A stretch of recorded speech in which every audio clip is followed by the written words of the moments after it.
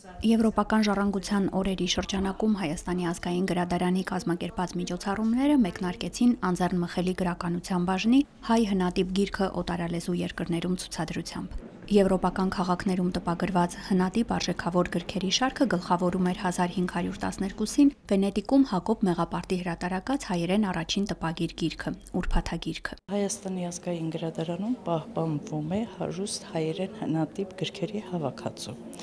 շուրջ 2381 միավոր։ Դա համարվում է աշխարհում ամենամեծ պահոցներից մեկը Վենետիկից հետո։ Այսօր մենք մեր հարուստ հավաքածուից ցուցադրել ենք մի փոքրիկ մաս ընդամենը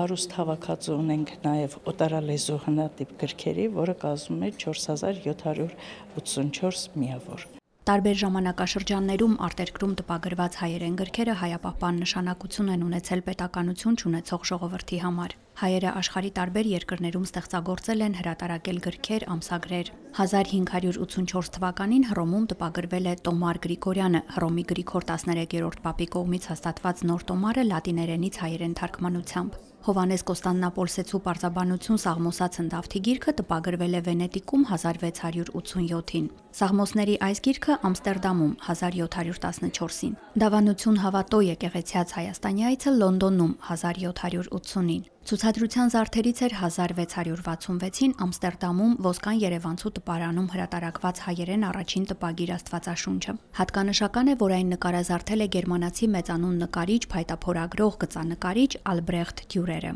Ազգային գրադարանի արվեստի եւ ոչ գրքային հրատարակությունների բաժնում բացված ցուցահանդեսն էլ նվիրված էր վերածննդի խոշորագույն ներկայացուցիչ Դյուրերին։ Եվրոպայի ամենահայտնի եւ ամենատաղանդավոր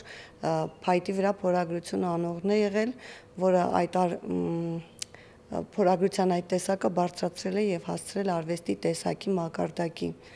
նա եղել է նաև հյուսիսային Եվրոպայի ամենահայտնի տեսաբանը արվեստի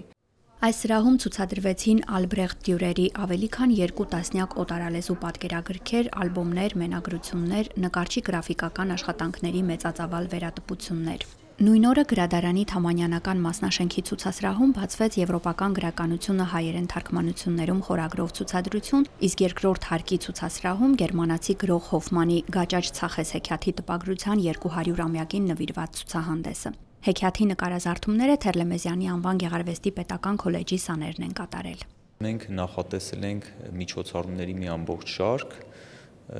10 նորյա միջոցառ, որ, որ տևելու են 10 օր եւ դրանք բազմաբնույթ միջոցառումներ են, սկսած գրքերի ցուցադրությունից, Եվրոպայում տպագրված հայերեն գրքեր, եվրոպական գրքեր, հնատիպ գրքերի ցուցադրություն,